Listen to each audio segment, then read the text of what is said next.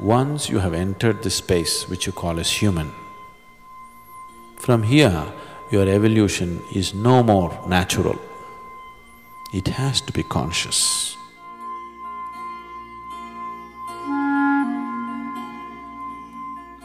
If you don't become conscious, there will not be any progress from here onwards. Monkeys can progress, man cannot progress.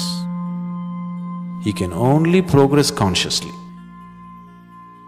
Somewhere, nature trusted your intelligence. Nature believed that with the intelligence that you have, anyway you will choose the higher, not the lower. But you've been trying to beat nature's trust, but it's not possible. Doesn't matter how many ways you indulge yourself, somewhere something longs for something bigger, isn't it? Yes? You fill yourself with wealth and filth and everything, but still the longing is not gone. So, when the longing becomes unbearable, you seek. When you seek, can't you seek that which is within yourself by yourself? You can. But it's an uncharted path.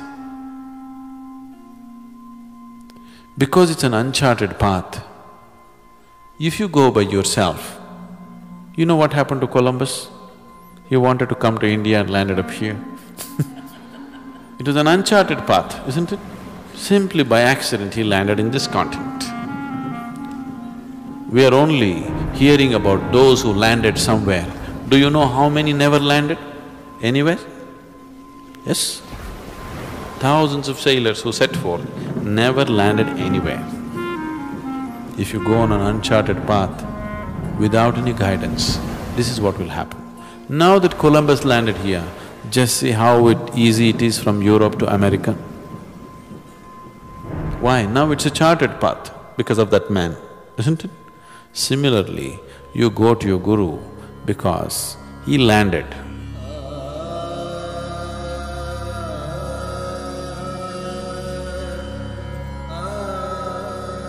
Now, using his experience is a good thing.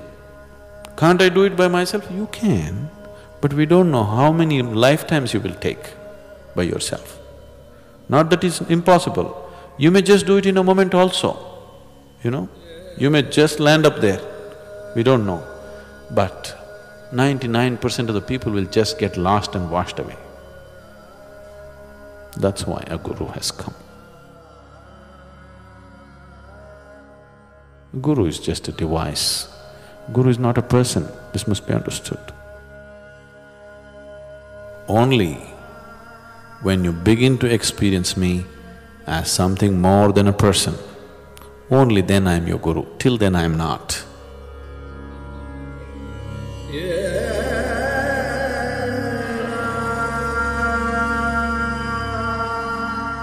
The Guru Purnima is significant because one thing is of a historical significance because this is the day Adiyogi turned himself into a guru after the summer solstice.